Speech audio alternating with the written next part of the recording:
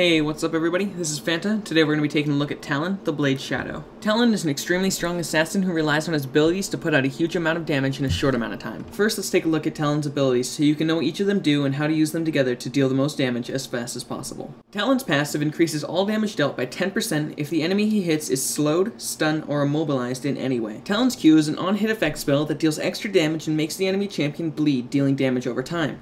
Talon's W is a cone-shaped slow that will send blades out and then bring them back, slowing and dealing damage both ways. Talon's E allows him to quickly jump to his opponent, silencing them and making Talon deal more damage for the next few seconds. Talon's ultimate releases a ring of blades that deal damage and render Talon invisible. Talon is free to move and after a few seconds the rings will come back to Talon, dealing damage to all enemies that they hit on their way back to Talon. However, the rings can be activated to come back to Talon before their timer ends. For masteries, I like to take 2109, making sure to take Improved Ghost. For runes, I take Armor Penetration Marks, Armor Seals, Attack Speed or Cooldown Reduction Glyphs, and Flat Health Quints. Alright, so let's get into the gameplay. Um, here I am starting off on top lane um, as Talon, of course, with Kog'Maw as my lane partner. I'm against a Riven and a LeBlanc. Um, I just want to point out Kog'Maw is not too great of a lane partner, but it was alright because we were against two squishy, so we easily could kill them. Um, as you can see on the screen, Talon lanes well with anyone with a stun. In my opinion, that is ranged, therefore he can get off his passive and do the extra damage, and also be able to jump that jump to them while they're stunned, doing the extra damage from Cutthroat. So, Talon is strong against squishy champions early game, or all game really. Of course, he is an assassin, so his role is to kill those squishies and he's very good at that. Late game, if built right, and if you want to build that way, you can kill tanks, but your main role is to kill squishies, so that's not really necessary. Real quick, this is the skill order on the screen. Um, for levels 1 through 4, you want to get, um, this is just my opinion, either Rake or Cutthroat to start. If you get, I mean not Cutthroat, um, your Q. You get Q first, and then you get W, and then either another level in Q or a level in Cutthroat and then at level 6 get your ultimate um, maxing like you saw on the screen. So if you follow that, you should be fine. Of course, you can switch that up to however you feel is necessary once you uh, get good with Talon. Um, early game, Talon's harassment is very good. He can easily harass enemies using Cutthroat and then with a Q proc to get that um, extra damage and have them silenced mm, uh, for, I believe, one second at level 1. So that works out very well. And then Rake can be used to slow and actually does quite a bit of damage, especially if you have a few levels in it early in the game. As you can see right here, jump on LeBlanc with Cutthroat, throw a Rake right as I'm getting away, and Kog'Maw finishes her off.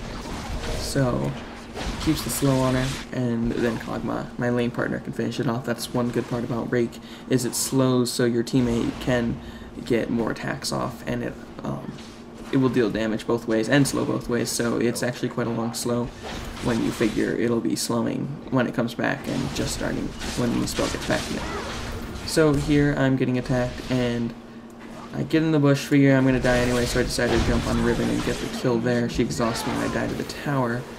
And Kog'Maw's able, easily able to hold the lane against LeBlanc. So we have our lane pretty much completely secure there behind minions and levels a little bit.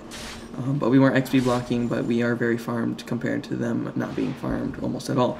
So this is just to show Talon's um, tower diving. I put my bleed onto LeBlanc and then throw a rake as I'm leaving, and the bleed finishes her off.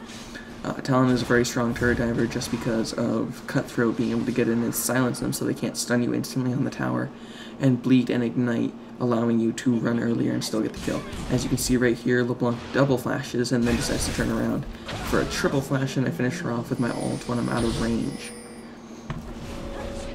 And then uh, Riven does, of course, pick me off. She somehow finds me, of course, because of hacks. So we're back in top lane in uh, 2v1 right now. Um, going to dive on LeBlanc. And hit her with a Q, pretty much getting down a half health and then finishing off with my ultimate when she goes invisible. Using your ultimate in that way is very good to um, finish people off. And as you can see, I run ran in front of her when I ulted, so all the blades, when they came back to hit her, and we go back in and kill Riven. Uh, she exhausts me, and I still get away after three tower hits, so and then we get the tower.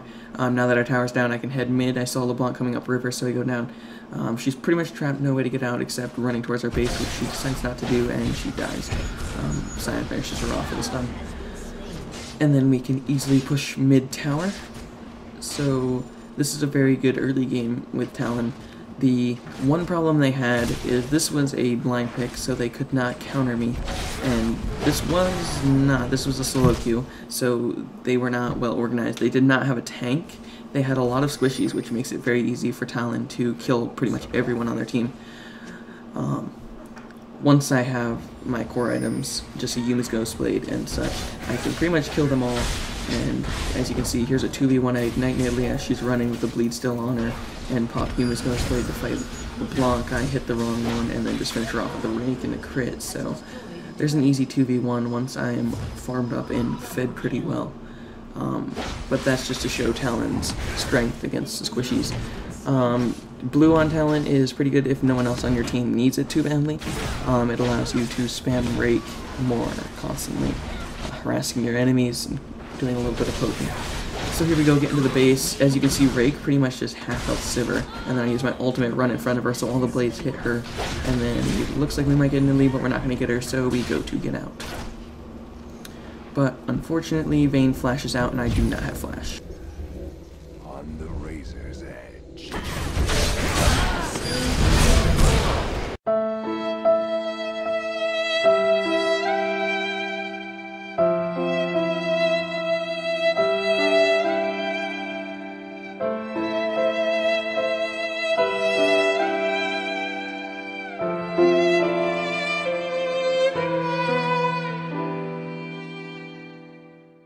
Anyway, let's uh, take a look at the items. I like to start out with a Doran's Blade. This gives me the health and everything I need. And then uh, my first trip back, I go and get Boots of Speed, and then quickly get a Youmuu's Ghost Blade, and then Boots of Swiftness shortly after, as soon as I can. Um, after that, you have a choice.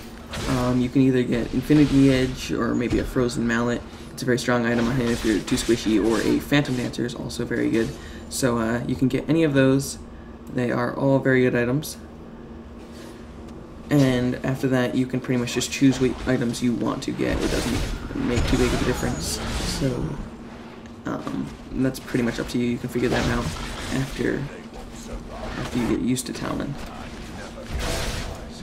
Um, right here, just just to show how Talon can get away easily with his all while finishing the person off with the all, and then using Rake to slow and Youmuu's Ghostblade to get away while keeping Riven slowed, who has a bunch of jumps.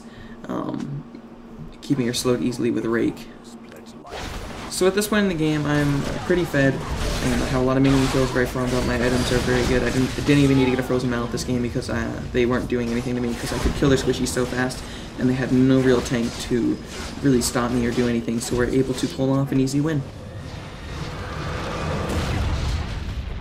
Thanks for watching this, guys. Uh, sorry about um, during the gameplay, I was pretty quiet. I recorded this at like 2 in the morning. Um, so I was uh, pretty quiet there. Uh, let me know if you have any questions about Talon. Um, he's a very fun champion to play. I hope you guys uh, learned something about him from this if you haven't played him before, or if this helped you decide if you want to get him or not.